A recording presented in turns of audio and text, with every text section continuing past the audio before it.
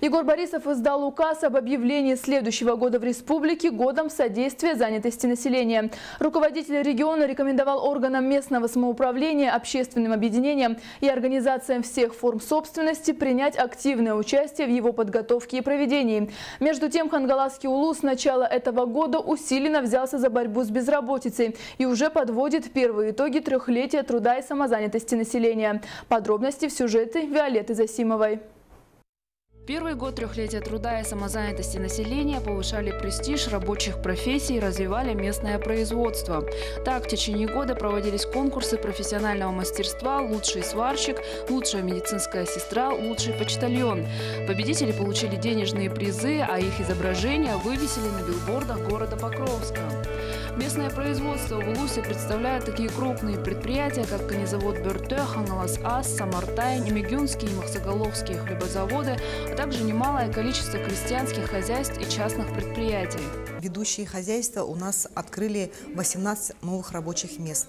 Но для этого, конечно, была проделана большая предварительная работа. А, в течение вот последних трех лет э, было привлечено порядка 20 миллионов рублей. А, значит, это со всех источников бюджета.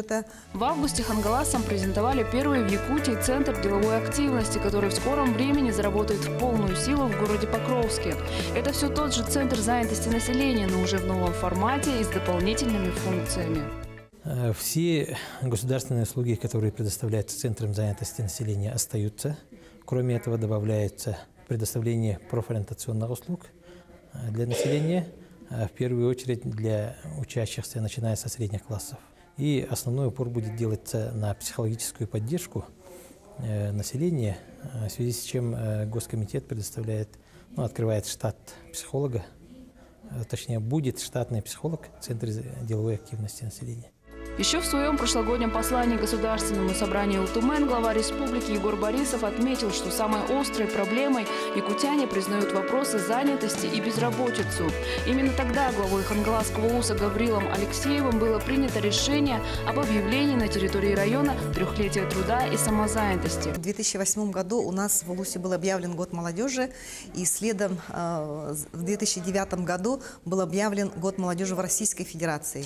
Э, то есть э, сегодня э, констатирует э, лишь один факт, наверное, что мы сегодня на правильном пути э, и задаем правильный темп развития УЛУСа в целом. На будущий год руководством района определены следующие направления деятельности в рамках трехлетия труда и самозанятости населения. Это продвижение крупных инвестиционных проектов района, агропромышленный комплекс Покровский в селе Улахан, туристско-рекреационный кластер Ортодойду и кластер для реабилитации пожилых инвалидов в селе Верхний Бестях. Виолетта Засимова, Александр Ярков, НВК Саха, Хангаласский улус.